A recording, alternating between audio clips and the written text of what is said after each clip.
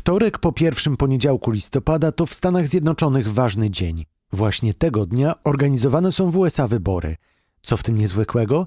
Ano to, że w Ameryce wybory organizowane są tak naprawdę nie co cztery, a co dwa lata, a niektórzy twierdzą nawet, że co rok. Kadencja prezydenta trwa co prawda cztery lata, ale w jej połowie Amerykanie wybierają nowy skład Izby Reprezentantów oraz jedną trzecią Senatu. Te mniejsze wybory nazywane są midterm election, czyli w wolnym tłumaczeniu wybory połówkowe. To jest podcast Świat. Zaprasza Wojciech Cegielski, korespondent zagraniczny Polskiego Radia.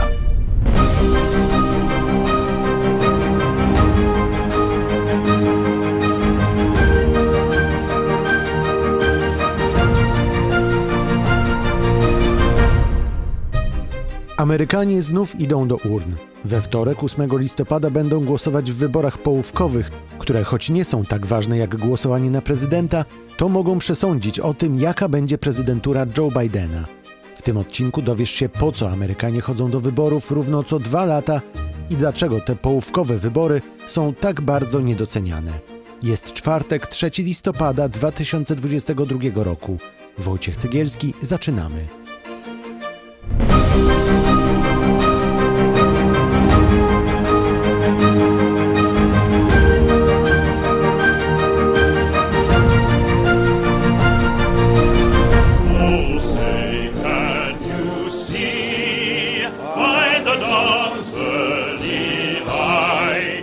Kongresie USA mówi się, że jest to świątynia demokracji, podobnie zresztą jak mówi się o wielu innych parlamentach na świecie. Amerykański kongres jest jednak szczególny. Jego członkowie, czy to z Izby Reprezentantów, czy to z Senatu, przez lata cieszyli się w Ameryce niebywałą estymą. By zwiedzić siedzibę kongresu na Kapitolu i zobaczyć tamtejszą bibliotekę, popiersia byłych prezydentów czy salę obrad, do Waszyngtonu przyjeżdżają wycieczki z całego świata – Amerykański kongres jest też niezwykły z innego powodu. Izba Reprezentantów jest wybierana co dwa lata. Izba Reprezentantów, czyli niższa izba amerykańskiego parlamentu, kadencja kongresmenów trwa zaledwie dwa lata. W związku z tym co dwa lata cała Izba Reprezentantów, czyli 435 członków jest wymieniana. Marek Wałkowski, korespondent Polskiego Radia w Stanach Zjednoczonych i jedyny polski dziennikarz akredytowany przy Białym Domu. Któż, jeśli nie on, lepiej wyjaśni zawiłości amerykańskiej polityki? Jeśli chodzi o Senat, to tutaj kadencja e, wynosi 6 lat i co dwa lata Amerykanie wybierają jedną trzecią składu Izby. 33, 33 i 34 senatorów w kolejnych wyborach. W tym roku toczy się walka o 34 miejsca w amerykańskim Senacie. Także wbrew temu, co czasami się mówi, że to są takie uzupełniające wybory, to są pełne wybory do amerykańskiego kongresu. Pełna Izba Reprezentantów, jedna trzecia Senatu, one tym różnią się od, od tych wyborów, które miały miejsce na przykład dwa lata temu, że odbywają się niezależnie od wyborów prezydenckich, co oznacza, że prezydent pozostaje ten sam, natomiast zmienia się skład amerykańskiego parlamentu. A po co to ktoś kiedyś, ktoś, czy jak rozumiem ojcowie założyciele Ameryki, po co to kiedyś ktoś tak wymyślił, że no właśnie w Senacie co dwa lata zmienia się jedna trzecia składu, tak cząstkowo właśnie? Senat ma być symbolem ciągłości amerykańskiej władzy. Reprezentanci poszczególnych stanów nie odpowiadają tylko przed małymi grupami wyborców, tak jak w przypadku Izby Reprezentantów, ale reprezentują cały stan. I e, Senat ma być takim ośrodkiem stabilności rządu w Stanach Zjednoczonych. A chodzi o to, żeby nie wymieniać jednorazowo całego Senatu, po to, żeby utrzymać ciągłość władzy, utrzymać stabilność po to, żeby nie było wstrząsów politycznych w Stanach Zjednoczonych i po to, żeby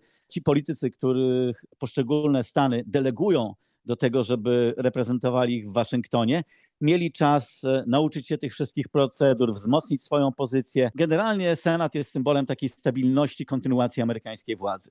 W przypadku Izby Reprezentantów idea jest taka, że ona reprezentuje lokalne społeczności. Dlatego jest 435 okręgów i członkowie Izby Reprezentantów mają być wyrazicielami głosu narodu, kiedy pisano amerykańską konstytucję, trwał spór, czy kadencja członków Izby Reprezentantów powinna wynosić 3 lata, tak jak wówczas w Anglii, czy rok, tak jak jeszcze e, odbywało się to za czasów kolonialnych. Dwa lata stało się właśnie takim kompromisem. Chodzi o to, żeby wyborcy w miarę często mogli weryfikować działalność swoich kongresmenów, ale z drugiej strony, żeby im dać trochę czasu na to, żeby nauczyli się tych procedur, parlamentarnych, żeby mogli te swoje programy zrealizować. Czyli też trochę, jak rozumiem, żeby ta machina demokracji w Stanach była, czy ta machina rządzenia była też na tyle sprawna, żeby nie było sytuacji, że są same świeżaki, tylko żeby przynajmniej część ludzi była doświadczona i wiedziała, co ma robić. Tak, ale w praktyce to nie jest tak, że Amerykanie wymieniają całą Izbę Reprezentantów.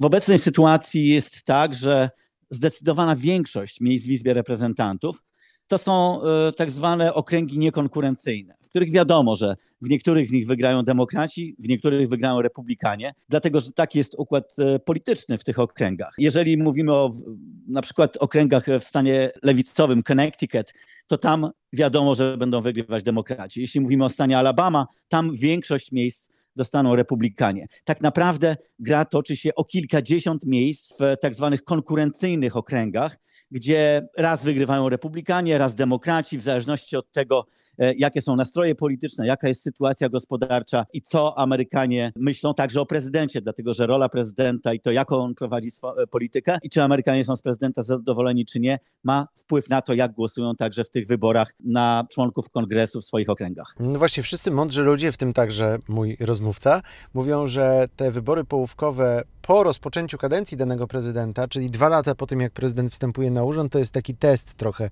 dla danego prezydenta. On sam nie startuje, ale rozumiem, że te wyniki wyborów, czyli to, czy opozycja, tak jak teraz, republikanie przejmą Senat, to jest trochę testem, czy Amerykanom się podoba prezydent Biden, czy nie.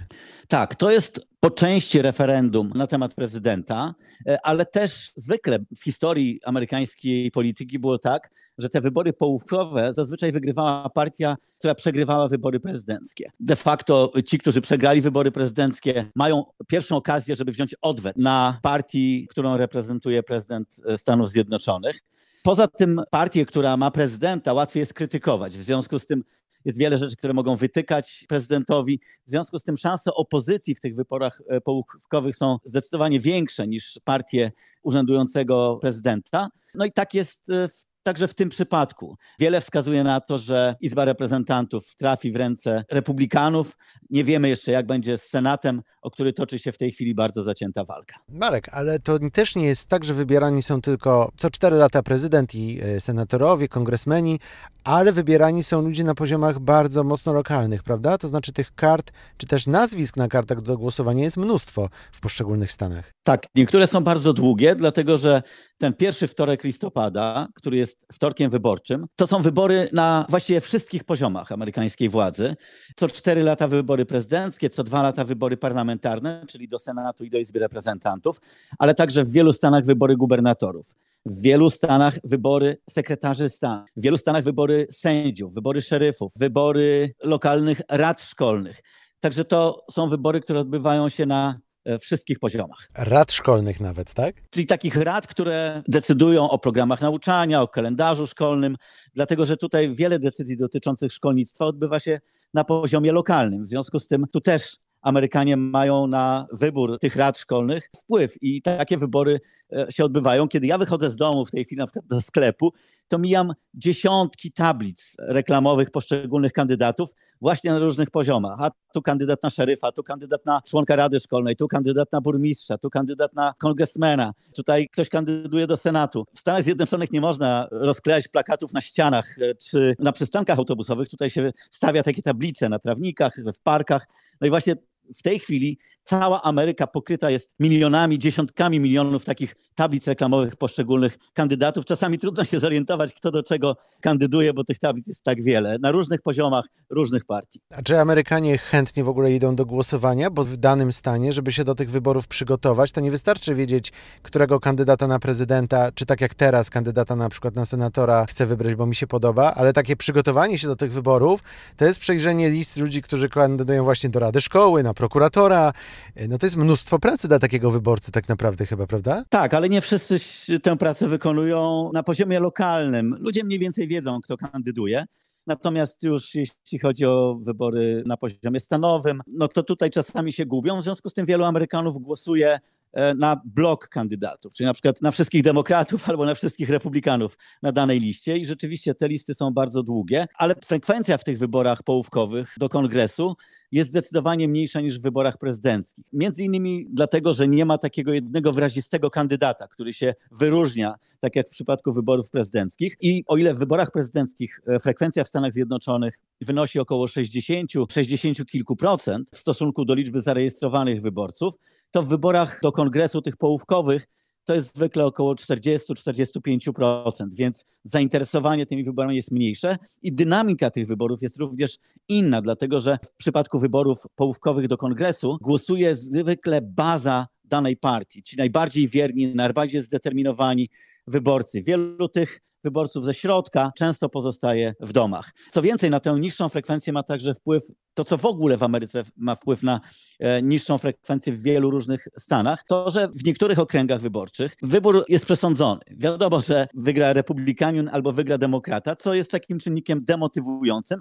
Najwyższa frekwencja jest, w tych okręgach tak zwanych konkurencyjnych, gdzie raz szala przechyla się na jedną, innym razem na drugą stronę.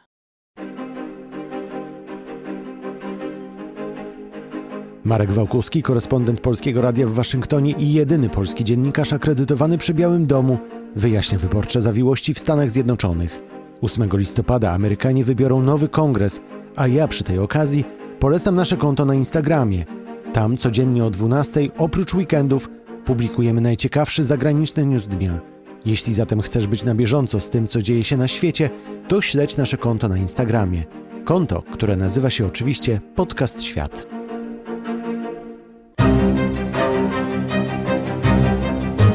To jest podcast Świat.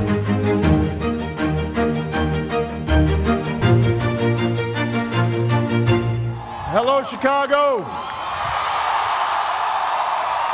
If there is anyone out there W listopadzie 2008 roku w Ameryce zaszła zmiana. Na prezydenta po raz pierwszy wybrano czarnoskórego polityka, senatora Baracka Obamę. tonight is your answer. It's Demokraci mieli podwójny powód do świętowania. Nie tylko zdobyli Biały Dom, ale utrzymali władzę w Izbie Reprezentantów i w Senacie. Jednak już dwa lata później sieranka się skończyła. Demokraci utrzymali co prawda Senat, ale stracili Izbę Reprezentantów. From this day forward, it's going to be only America first. America first. Historia powtórzyła się tyle, że w drugą stronę 8 lat później.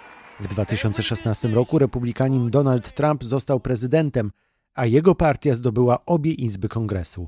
Ale dwa lata później straciła Izbę Reprezentantów.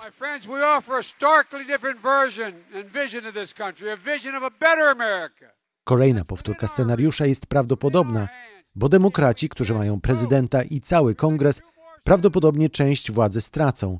Stąd w Białym Domu wesoło nie jest. To atmosfera dosyć napięta, dlatego że te wybory będą miały ogromny wpływ na to, jak będzie wyglądał dalszy przebieg prezydentury Joe Bidena. To, co się wyczuwa tu w tej chwili w urzędzie prezydenta Stanów Zjednoczonych, to duża ostrożność. E, Biden rzadziej odpowiada na pytania dziennikarzy, rzadziej podchodzi do reporterów, kiedy odlatuje na przykład Marine One, po to, żeby e, nie powiedzieć czegoś, co skomplikuje sytuację demokratów. W chwili, gdy rozmawiamy, Marek Wałkuski, korespondent Polskiego Radia w Waszyngtonie, jest właśnie w Białym Domu.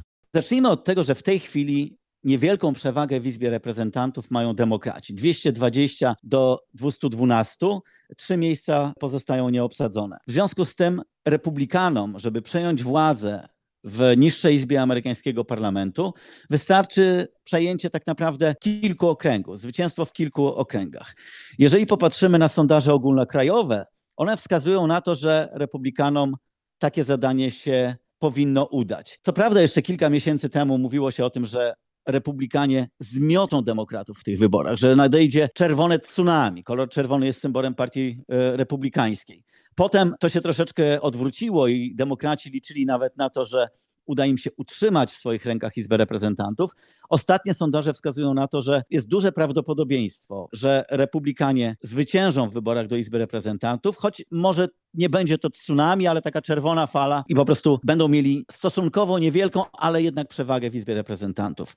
Sondaże, jeśli chodzi o Senat, mówią o tym, że tak naprawdę mogą demokraci utrzymać Senat, mogą go stracić. Jest mniej więcej pół na pół. Chociaż jeszcze kilka tygodni temu demokraci czuli się bardzo dobrze, dlatego że w tych, i znów mówimy o kilku stanach, które przesądzą o losie amerykańskiego Senatu, o tym, kto wygra te wybory. Kilka tygodni temu mówiło o tym, że demokraci mają dużą szansę, żeby utrzymać Senat. W tej chwili te sondaże przesunęły się w stronę republikanów i w takich stanach jak Pensylwania, Georgia, Nevada, kandydaci republikanów gonią kandydatów demokratycznych. Jeżeli w tych trzech stanach uda się republikanom wygrać, to wtedy przejmą oni kontrolę nad, także nad amerykańskim Senatem i będą mieć pełnię władzy w amerykańskim parlamencie. Scenariusz, kiedy demokraci jednak obronią te pozycje, jest e, łatwy do wyobrażenia, to znaczy, gdyby tak się stało, no to prezydent Biden ma spokój na najbliższe dwa lata. Ale co się stanie, jeśli republikanie odbiją albo Izbę Reprezentantów, albo Senat, albo oba? W przeszłości wielu prezydentów miało do czynienia z kongresem który był w rękach e, przeciwnej partii i niekoniecznie im to szkodziło. No, Bill Clinton właśnie w takiej sytuacji się znalazł i kolejne wybory wygrał w cuglach. Także to nie jest sytuacja bardzo niekorzystna dla prezydenta. Dynamika polityczna wtedy w kraju się zmienia. Co więcej, prezydent wtedy jest zmuszony do kompromisu, dlatego że jeśli jedna partia ma kontrolę nad kongresem, a w Białym Domu jest przedstawiciel innej partii, to żeby cokolwiek w Stanach Zjednoczonych, w amerykańskim systemie prawnym przeforsować, taki kompromis jest y, niezbędny. I to często działa na korzyść, paradoksalnie na korzyść prezydenta. Z czym Joe Biden będzie miał trudniej? Na przykład z budżetem, dlatego że nawet jeśli demokraci obronią Senat, a republikanie przejmą tylko Izbę Reprezentantów, to prezydent nie jest w stanie przeforsować żadnych rozwiązań budżetowych bez zgody Izby Reprezentantów, bo zgodnie z konstytucją to Izba Reprezentantów inicjuje wszelkie ustawy, w których chodzi o wydawanie publicznych pieniędzy, więc w tych kwestiach budżetowych będzie prawdopodobnie konieczność poszukiwania kompromisu. Co jeszcze jest ważne dla republikanów i dlaczego ta dynamika polityczna może się zmienić? Tu akurat to jest niekorzystne potencjalnie dla amerykańskiego prezydenta. Partia, która kontroluje Izbę Reprezentantów, może na przykład powoływać komisję wszczynać śledztwa, generalnie nękać prezydenta i partię, która jest wtedy w kongresie w mniejszości. I takie działania republikanie już zapowiadają. Na przykład śledztwa w sprawie związków z Chinami syna prezydenta Bidena, Huntera Bidena. Śledztwa w sprawie szczepionek na COVID i mechanizmów, które powodowały, że takie, a nie inne regulacje w Stanach Zjednoczonych wprowadzano. Tych spraw, które będą chcieli podjąć republikanie, jeśli wygrają wybory do Izby Reprezentantów, jest bardzo dużo. I o ile wyniki tych śledztw mogą nie mieć żadnego formalnego znaczenia, to wtedy partia, która rządzi Izbą Reprezentantów, może narzucać tematy, którymi żyje Ameryka w dużo większym stopniu niż obecnie, kiedy znajduje się w mniejszości. Jeśli chodzi o Senat, no to pamiętajmy, że amerykański Senat odpowiada za nominacje zarówno sędziów federalnych, jak e, i sędziów Sądu Najwyższego, nominacje ambasadorskie, więc także w tych sprawach personalnych, sprawach nominacji będzie musiał być poszukiwany kompromis. I na przykład, jeżeli okaże się, że znów będzie wymiana zmiana e, na stanowisku sędziego Sądu Najwyższego, to w momencie, w którym demokraci mają większość e, w Senacie, mogą liberalnego sędziego nominować. Jeżeli republikanie będą mieli tam większość, wtedy ten sędzia, który zostanie nominowany, będzie musiał być wybrany w wyniku kompromisu z republikanami, co oznacza, że jego poglądy będą bardziej centrowe. Także te wybory mają wiele konsekwencji i będą miały wiele konsekwencji na różnych poziomach. Jak pamiętam swoje również doświadczenia z wyborów amerykańskich, to ta noc wyborcza to jest głównie siedzenie przy wykresach, statystykach, patrzenie w którym okręgu, w jakim wręcz hrabstwie, kto gdzieś wygrywa, bo to będzie miało wpływ i tak dalej. Więc rozumiem, że czeka cię taka noc właśnie statystyczna, kiedy będziesz obserwował, jak się wszystko zmienia z niebieskiego na czerwony, z czerwonego na niebieski, przeliczał, odejmował, dodawał, mnożył i tak dalej. Co więcej, następnego dnia możemy na wiele pytań odpowiedzi jeszcze nie znać, tak jak w przypadku wyborów prezydenckich w niektórych stanach te głosy liczono przez kilka dni po wyborach, dlatego że pamiętajmy, że te wybory w Stanach Zjednoczonych to nie jest jeden dzień. Tak naprawdę one już w tej chwili trwają, gdyż w wielu stanach można głosować w ramach wczesnego głosowania, czyli iść do lokalu wyborczego, który jest otwarty już wcześniej. Jest ich oczywiście mniej niż w dniu wyborów, ale są takie lokale, więc można zagłosować sobie na dwa, trzy tygodnie przed wyborami. W wielu stanach można głosować za pośrednictwem poczty. Takie głosowanie też w wielu stanach e, trwa. Szacuje się, że już w tej chwili około 20 milionów Amerykanów oddało głosy w tych wyborach. Więc e, tak naprawdę nie jest to jeden dzień, ale to jest cały sezon wyborczy i liczenie tych głosów korespondencyjnych czy tych oddanych jeszcze wcześniej może zabrać trochę więcej czasu. W związku z tym wcale nie jest powiedziane, że będziemy znali wyniki wszystkich wyborów w środę rano po przeliczeniu tych głosów oddanych, kiedy formalnie te wybory się odbywają. Jeszcze jeden element, chciałem tylko wrócić do tych konsekwencji, jakie mogą mieć te wybory dla prezydenta Bidena. Otóż już mówi się o tym, że gdyby okazało się, że republikanie e, przejmą władzę w kongresie, pomoc dla Ukrainy będzie dużo trudniejsza E, jeśli chodzi o Stany Zjednoczone. W partii republikańskiej jest nurt izolacjonistyczny. Wielu polityków tej partii mówi otwarcie o tym, że te pieniądze nie mogą być wydawane tak lekką ręką, że Stany Zjednoczone nie powinny wystawiać czeku in blanco dla Ukrainy na prowadzenie tej wojny i że ta kontrola parlamentu nad tymi wydatkami będzie większa. Prawdopodobnie dłużej to będzie trwało.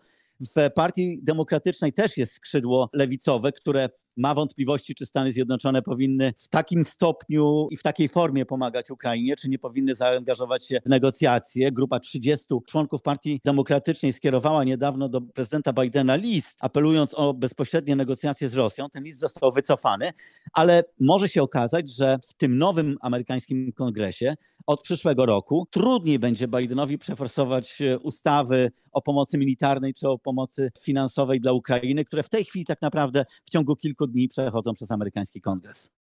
Marek Wałkuski, jedyny polski dziennikarz akredytowany przy Białym Domu, a od ponad 20 lat korespondent Polskiego Radia w Stanach Zjednoczonych, mówił o tym, co może stać się w Ameryce po najbliższych wyborach połówkowych. Wyborach, które nie są tak ważne jak prezydenckie, ale w przypadku tegorocznego głosowania mogą zupełnie zmienić politykę prowadzoną przez Waszyngton. Albo i nie, bo jak słyszeliśmy, sondaże nie dają jasnego zwycięzcy. Ten odcinek jest częścią naszego nowego mini-cyklu o Ameryce. Na kanale podcastu Świat na YouTube w niedzielny wieczór znajdziesz nowy film o miejscu, które przyciąga miliony osób, a w kolejnym odcinku podcastu zabiorę Cię do Nowego Jorku, by opowiedzieć o pewnej szczególnej społeczności, o której tak naprawdę wiadomo niewiele. Premierowe odcinki możesz znaleźć w każdy czwartek właśnie na kanale Podcast Świat na YouTube oraz na stronie internetowej Polskiego Radia i na platformach podcastowych, w tym Spotify, SoundCloud i Apple Podcasts. Na Instagramie Podcast Świat codziennie w południe znajdziesz najciekawszy światowy news dnia, a w niedzielne wieczory na kanale YouTube nieoczywiste historie ze świata w wersji filmowej. Ja nazywam się Wojciech Cegielski, dziękuję za uwagę i wracam za tydzień. To był podcast Świat. Do usłyszenia w kolejnym odcinku.